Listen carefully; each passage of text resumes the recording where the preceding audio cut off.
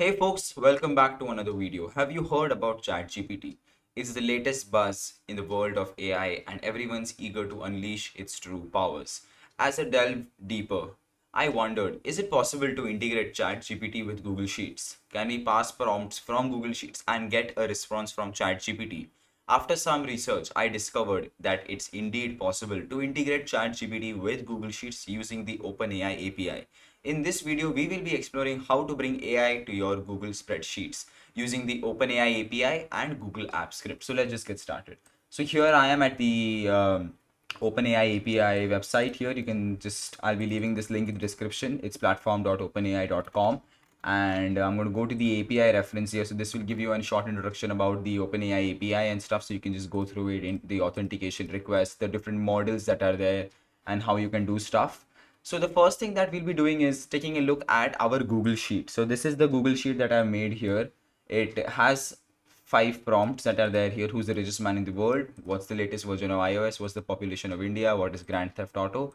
And which is the most populated country in the world? So I want to use the OpenAI API and uh, once I pass this prompt into it, I want a response here. So we'll be using Google Apps Script and we'll be creating a custom function that will do this for me. So I'm going to go back to my API reference for the Open OpenAI API and I'm going to go to this top here and I'm going to go to the uh, view API keys. So here you can see this is where you can make your API keys. You can generate the API keys here. So we'll be doing that. So we'll be starting out by creating a new secret key. So I'll just go here and I'll create the new secret key and I'm going to copy this key and just go ahead and click on OK. And uh, once that once we have created our API key, it's time to you know start using the power of AI and enhance your Google spreadsheets with Google Apps Script. So I'm going to go back to my Google Sheet and I'll go to my extensions. I'll click on Apps Script. and here uh, I'm just going to clear this out here and I'll be starting by just declaring the API key here so I'll do API underscore key. And I'll just paste what we just generated right now. But uh, when when you are doing this on your own you, you need to replace the API key with yours or I'll get billed with that so.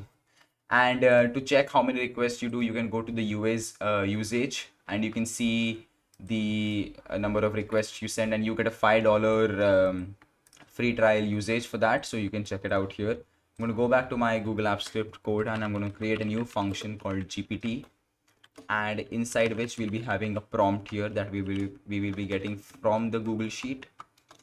And i'm going to be going ahead and declaring variable model underscore id so there are multiple models that you can use while you are using the openai api but uh, for this video i'm going to be using the text davinci 002 so i'm just going to paste that here if you want to copy the code there is a github code link in the description. You can check that out. After which i'll be declaring the max underscore tokens here. And the max tokens for this one is going to be 64 so you must be wondering what max tokens is. So the number of tokens so we are, we are declaring the number of tokens to generate in the response. So there will be so that's like the measurement of the number of um, tokens that you want to generate when you get a response. So 64 token response will be generated for all these prompts that are generated here. After which we'll declare something called temperature. I'm going to leave this to 0.5 so temperature is basically to control the randomness of the response provided based on the prompt that you pass in. And uh, these are the two things that we to declare after which we'll be declaring the payload. And in the payload we will be just making we'll be just putting all these parameters that we just declared here. Just take this up and i will start out by declaring the model. So inside this model we'll pass in the model id and add a comma. After this we'll be adding the prompt. And inside this we'll be doing the prompt variable.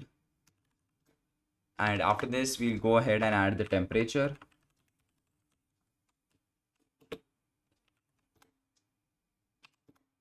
and then the last one is going to be the max token so we'll do max underscore tokens. And inside this we'll be passing our variable that is max tokens. But for now i think i'll just change this to max tokens without the underscore. I'm going to just click on save here. And our payload has been designed and now we'll move forward to the next part of the code. That's going to be the options. So basically this code is the backbone of the integration between ChatGPT and Google Sheets. So this will allow the users to generate responses for prompts directly from the spreadsheet using the power of AI. So the options variable is going to be used to define all the parameters for the HTTP request that will be sent to the OpenAI API. So we'll be starting out by declaring the method that's going to be there. So I'll just do method.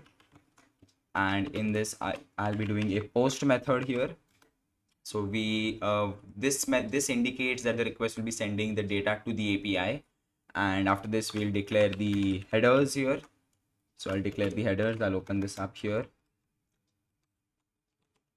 And inside this we have to first start out by oops, let's take this up.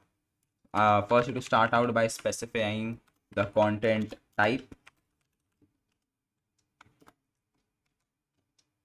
Inside the content type is going to be application slash json so why the application slash uh, json is because it is the most commonly used format for sending structured data on the internet. And after this we'll be declaring the authorization that's going to be there. So i'll do authorization.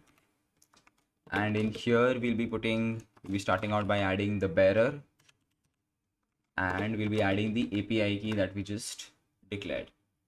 So our code for this part is done and ready. And then we just go down here and we will just do the payload again. We'll do payload here. And inside this we'll do json dot stringify and we'll do payload. We just go ahead and click on save. So oops we have an error. I don't think there should be an error. Oh right then we don't have we don't need to have a semicolon there. We'll have a semicolon here so this payload parameter is used to specify the data that will be sent in the request. And here we have used a JSON object that will contain the model ID, the prompt, the temperature, and the max tokens for the API request.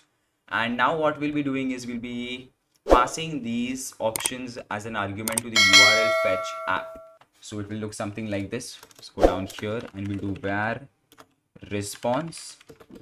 And inside this, we'll be doing the URL fetch app dot fetch and inside this we'll be passing the link to that. So we will we'll be passing the api endpoint which in this case is going to be this. Oops i don't need to add the quotes. I'll just add this one here. And after this we'll be just adding a comma here and we'll be adding the options that we just declared here.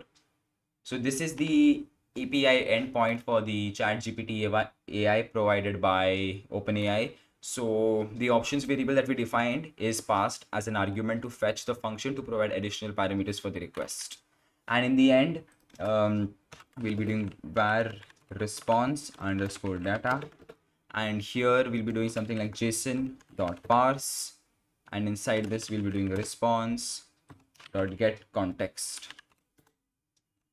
Context, content text here, adding a semicolon. And after this, I'll just do return response data dot choices 0 dot text dot trim. So what i have done here is the get contact content text function is used to extract the text content from the response object. Since the response is in the json format we have used the json dot parse function to convert the json into an object and then the pass data is stored in the response data variable where we once again pass it which contains the array of choices that are there here. So inside this uh, we want the first choice of the array. That is why we do uh, response data dot choices and we add a zero after which we just use the text to extract the text from the choice and then finally trim it to review uh, to remove any leading or trailing white spaces that are generated from the text and after this we just do a return since this is going to be a custom function. So this will display the prompt right in the response column there. And i think our code is ready and good to go. So i'll just save this project. I'll call it chat gpt uh, google app script. I'll just save this and we'll select our function and we'll just go ahead and click on run. So we need to give it some authorization. So we'll just click on this. I'll need to sign in with my email here just need to go to advanced go to the code that is there just click on allow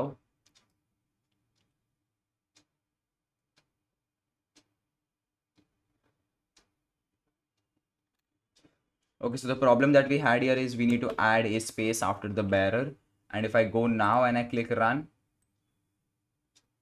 the execution started and it's completed, which means our uh, custom function should work. So I'll just go to my, I'll just go here. I'll add the function name that is going to be GPT here. And I will select this prompt here. I'll close the bracket. I'll hit on enter. And here you can see the richest man in the world is Jeff Bezos, the founder, of, founder and CEO of Amazon. So you can see we have successfully connected Google Sheets and Chat GPT here. Let's try it for the second one. Let's do GPT. Let's open up the bracket. Let's put this here. Let's this and let's close this here. You can see the latest version of iOS is iOS 14. And here you can see we have successfully connected um, the OpenAI API and Google Apps Script inside of Google Sheets to generate prompts. In conclusion, integrating AI in Google Sheet using the OpenAI API and Google Apps Script can significantly boost productivity by automating various tasks that would otherwise take a lot of time and effort. So with this power of ChatGPT at our disposal, we can generate complex responses with just a simple prompt. And um, it is an invaluable tool, making it making it very easy for anybody to use. I hope you have understood how to integrate ChatGPT inside of Google Sheets using Google Apps Script. You can get the code from the GitHub link given in the description. And um, I'll be leaving the sheet link also in the description if you want to make a copy and work with it. If you want a written version of this YouTube video, there is a blog link that I've uploaded on my Medium account. You can check that out. If you like this video, then don't forget to like, share, and for more content, hit the subscribe button. I'll see you in the next one.